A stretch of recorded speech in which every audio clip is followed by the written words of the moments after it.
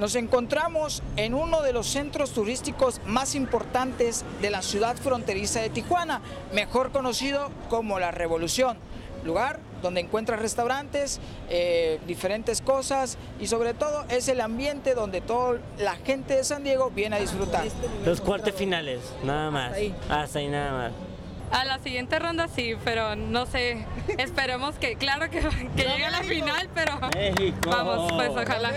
Tal vez a la otra ronda, con Brasil la veo muy difícil, pero que es el siguiente partido, pero tal vez a los, al otro país, este, a Ucrania, tal vez sí, sí puedan ahí, tengamos una posibilidad. Si la ganan Ucrania, aunque pierdan con Brasil, posible podrían pasar a la Eh, otra México fase. puede llegar, eh, traemos jugadores, puede llegar este, jugando así como jugamos, a- podemos llegar a un, un octavo de final, un cuarto de final.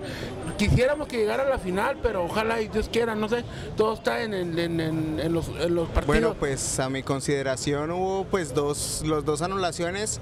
Una no me pareció que, que fuera real y la, pues la otra sí me pareció que pues fue de esa, ajá, fuera de lugar, pero pues la otra sí no me pareció muy, muy justa. Eh, está pésimo, está pésimo. Nunca había mirado un arbitraje así tan, tan, este, se puede decir tan erróneo, ¿no? Eh, para no decir las palabras, este, obscenas.